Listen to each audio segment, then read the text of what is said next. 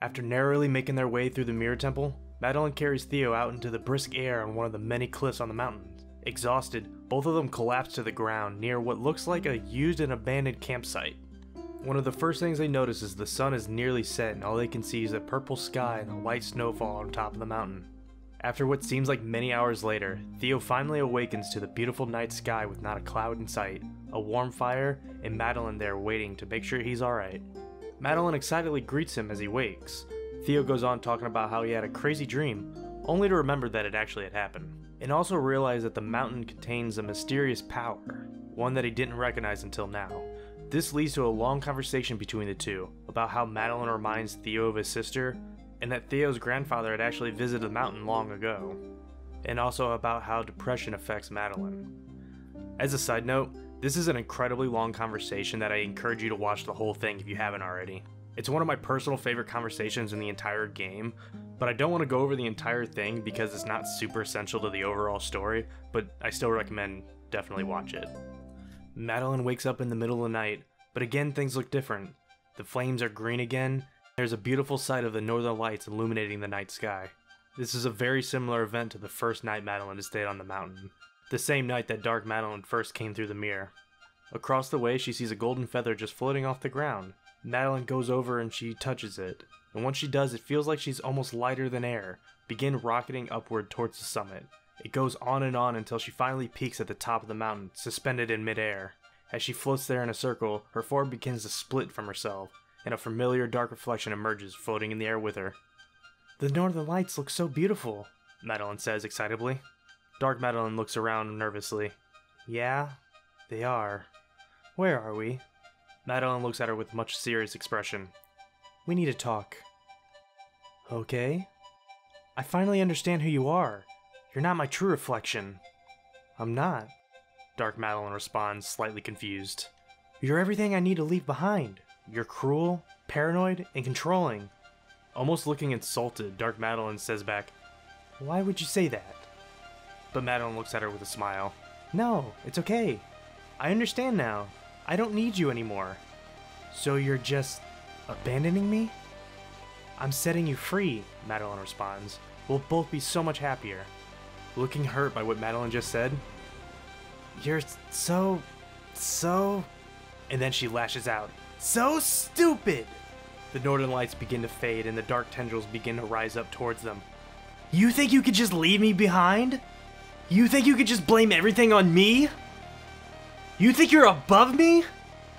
Answer me! As she says this, one of the tendril reaches up and entangles Madeline. Calm down, please. Dark Madeline begins to circle her. Calm down? Madeline closes her eyes and says to herself, Breathe, Madeline. Use the feather. As she begins to concentrate on the feather like before, everything around her begins to fade away she pulls forth an effort to remain focused, but piercing her mind, she hears Dark Madeline cry out, You're gonna think about a feather to stop me? She then forces Madeline to pay attention to her. You are not above me! You can't climb this mountain! It's time to accept that! After saying this, she pulls Madeline down. She's now back at the camp with Theo, but she's hanging on the edge of the cliff. Theo reaches out asking her what's happened, but it's too late. Madeline begins to fall, and fall, and fall, all the way to the bottom of the mountain. Luckily, she lands in a large pool of water, but when she emerges, she sees a beautiful lush greenery, waterfall pouring down into more pools of water. She begins exploring the vast area looking for a way out, but to no avail.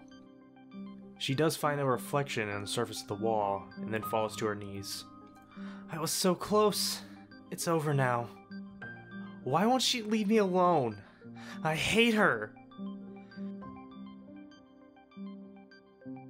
But she's part of me. I'll never be able to get rid of her, and she was right. I couldn't climb the mountain. After what feels like hours of exploring, she approaches what looks like an elevator shaft with a crow. Possibly the same crow she's seen before, but then realizes anytime she sees that crow, the old woman isn't too far away and as she moves closer, she sees the old woman sitting at the base next to the elevator. Oh, hello again, the old woman says. With a sour look, Madeline says back, Of course you're here. The old woman smiles. Calling it quits, I see. No, I fell. It's over. The old woman looks intently at her. That's probably for the best. The mountain doesn't pull any punches. Yeah, I get it, Madeline says. I wasn't strong enough to climb your stupid mountain. You can laugh at me again if you want. The old woman begins to laugh at her. I didn't mean actually laugh. She stops. Sometimes you gotta know when to throw in the towel. You'll get over it. Madeline moves a little closer. You know what? I had a lot of time to think climbing out of this cave, and I'm already over it. And then she turns around. That part of me was right. I can't do this. I'll just go home to my sad life and be miserable forever. You clearly aren't over it, the old woman says to her. Shut up, I know. I don't want to give up. But no matter how hard I try, she sabotages me every step of the way. The old woman continues looking her straight in the eye, never really changing her demeanor. A lot of kids come up here to climb the mountain, only to give up. It's a shame that you fell. I was starting to think you'd make it. What makes me so special? Madeline asks. I've never met someone so angry at themselves. And then she begins to laugh again. Honestly, I thought you'd reach the summit just to spite yourself. The girl you're talking about? It sounds like she's holding you back. Talk to her. Figure out why she's so scared. Madeline looks confused. You think she's scared? I guess I never thought of it that way. Stop wasting both of our time and go ask her. What have you got to lose? With a lot more to think about, Madeline heads out trying to find the dark part of herself. Luckily, she doesn't have to go too far.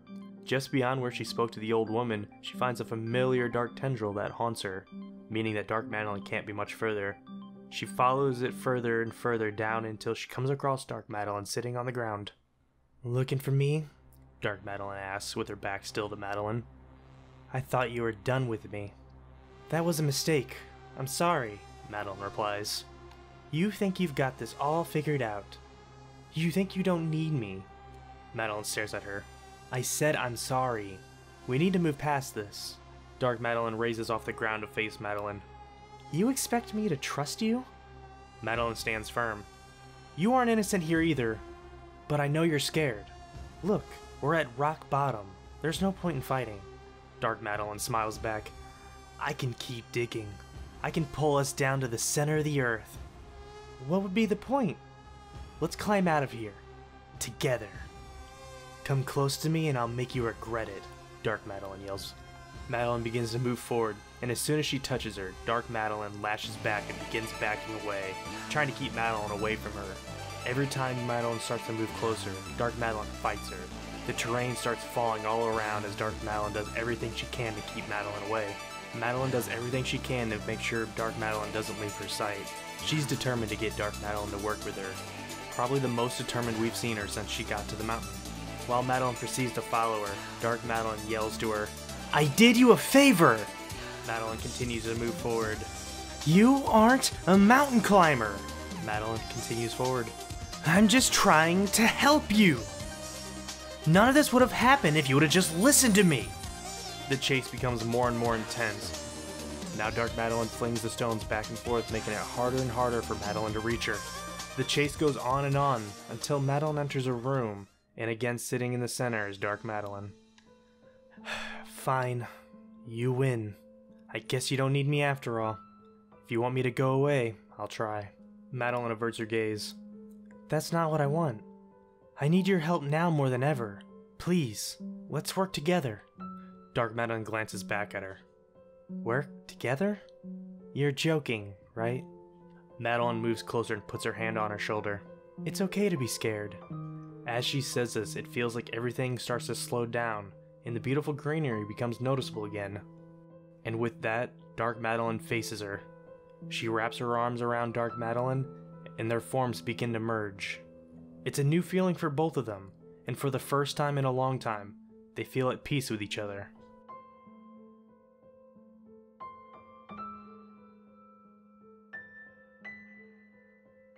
Working together, Madeline hastily climbs out. Now at peace with herself, the climb feels almost easier, as if there's less resistance. Reaching a landing point, their forms begin to separate again. Madeline feels that with them working together, they can surely reach the summit, although Dark Madeline still has her reservations.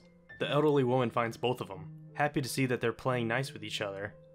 Madeline thanks her for talking some sense into her earlier, and the old woman says she's just happy that she can be useful every now and then. Then in the distance, Madeline hears someone yelling her name. It's Theo. He comes running up in a hurry. He said that he made his way down to help, but it looks like she's okay. This conversation goes on for a bit, but it leaves Madeline ready and motivated to reach the summit. Alright, so this chapter was jam packed with amazing dialogue, crazy turns of events, and a beautiful ending. The first thing I want to mention is the conversation between Madeline and Theo in the beginning. As I mentioned earlier, this is one of my favorite sets of dialogue in the entire game. Not because it holds some deeper meaning or because it's super impactful to the story, but because how genuine it feels. There's so much to relate to in this conversation, and anyone that knows how it feels to be depressed or have anxiety has most likely had a conversation just like this at some point in their life, and that's what makes it so special. I feel like Theo represents a lot of things in this game, but to me, he represents the part of society who doesn't understand what it's like to suffer from mental health issues. Not the people who tell you it don't exist or that it's all in your head, but the people who want to understand, but they just don't know what it's like. Theo tells Madeline that his sister also suffers from anxiety and depression, and that he just doesn't know how to help her because he doesn't understand it. Next thing is the fall. After their encounter in the Mirror Temple and she talks to Theo, Madeline feels as though she finally understands what her dark counterpart is. She thinks that Dark Madeline represents everything that she hates about herself. While she wasn't really wrong, her solution as to get rid of her was the thing that really made her hit rock bottom. She feels as though she needs to set her free, and this will make everything better, by tossing her problems to the side and not dealing with the consequences. As we saw, Dark Madeline did not take kindly the idea. While she was mad, she was mostly just hurt that Madeline was trying to get rid of her. Because in Dark Madeline's mind, she was just trying to help. Because of Madeline's solution to the problem, Madeline falls down the mountain, both physically and mentally, to a point where everyone has been in their life rock bottom. So instead of giving up like she wanted to, the old woman makes her realize that she has to confront herself and recognize this is a part of her, and learn how to work together with her so she can finally be at peace with herself. So when she attempts to, it's a long and difficult fight with herself that takes time, a lot of time. And even after their success, there was still doubt. Dark Madeline still shows reservations about climbing the mountain, but puts her reservations aside because Madeline believed in her. So she believed in Madeline. It's a sign that it's possible to forgive yourself, it just takes time, and that's okay. Not everything can be solved in a day, a month, or even a year. Sometimes it just takes a while and learning to accept yourself for the way you are instead of constantly fighting it makes all the difference in the world. I hope you guys enjoy this one because it was a really big chapter with so much in it. It's one of the things that made me fall in love with this game and why it will always be special to me. Thank you so much and I'll talk to you guys next time.